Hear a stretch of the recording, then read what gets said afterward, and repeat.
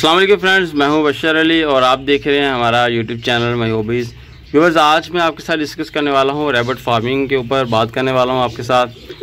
जैसे कि आप बहुत सारी वीडियोस में देख चुके होंगे कि रैबिट फ़ार्मिंग जो है एक आने वाले दौर में एक बहुत अच्छा सिलसिला बनने वाला है, क्योंकि जैसे जैसे ब्लाइलर की शार्टेज और बीमारियों में इजाफा होता जा रहा है, वैसे वैसे लोग इसकी फ़ार्मिंग की तरफ़ आ रहे हैं और इसकी बाकायदा जो है फ़ार्मिंग की जाती है ताकि इससे गोश्त हासिल किया जा सके। बेसिकली खरगोश या रेबिट्स क्या है? ये एक्चुअल ऑस्ट्रेलिया से लाया गया एक ब्रीड था एज अ पेट इसको लेके आ गया था, उसके बाद ऐसा ऐसा इसकी ग्रोथ बढ़ती गई। और अब लोग इसे पाल कर लाखों कमा रहे हैं। मेरे पास यहाँ पर नॉर्मल नस्ल के खरगोश हैं, देसी नस्ल जो होती है, उसके अंदर मुख्तलिफ़ कलर्स हैं मेरे पास, और माशाल्लाह से मेरे पास अच्छे तरीके से ब्रीड भी कर रहे हैं। इसको मैंने बिल्कुल ही पक्की जगह पर रखा हुआ है, ऐसा कोई इनका निज़ाम नहीं है कि भी ये सिर्फ़ ज़मीन के अंदर ही रह सकते हैं। इसको हम अपनी छत पर, अपने टेरेस पर या किसी पक्की जगह पर भी इसको रख सकते हैं। आप देख सकते हैं ये फ़ीमेल है और इसके साथ इसने यहाँ पे ब्रीड भी की हुई है।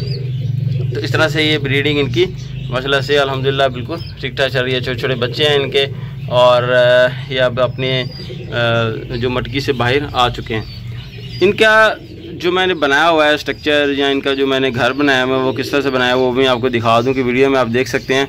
कि कुछ एक एक आध कबूतर भी आए हुए हैं इसके अंदर तो वो सैर करने के लिए आ जाते हैं इनके गेज में।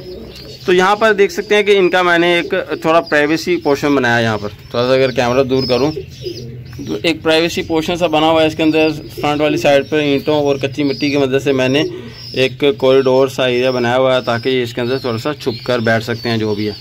और उसके बाद ऊपर वाली साइड से आप देख सकते हैं कि यहाँ पर मैंने अंदर इसके मटकियाँ लगाई हुई हैं।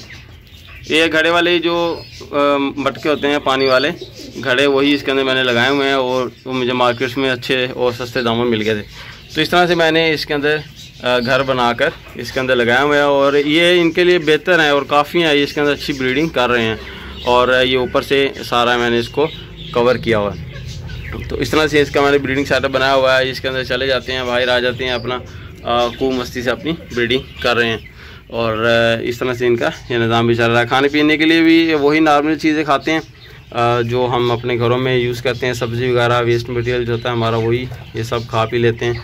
कोई इनका स्पेशल डाइट नहीं है और फ्रीली मेरे पास ये जो है ब्रीडिंग कर रहे हैं। देख सकते हैं, काफ़ी इनके अंदर बच्चे भी हैं छोटे छोटे और फीमेल्स भी हैं, इसके अंदर मेल भी हैं। तो इस तरह से यहाँ पे ब्रीडिंग कर रहे हैं। थोड़ा सा पीछे करके आपको मज़ीद दिखा दूँ कि इस तरह से मैंने इसका ये पोर्शन बनाया हुआ है और जिसके अंदर ये घर बनाया हुआ है।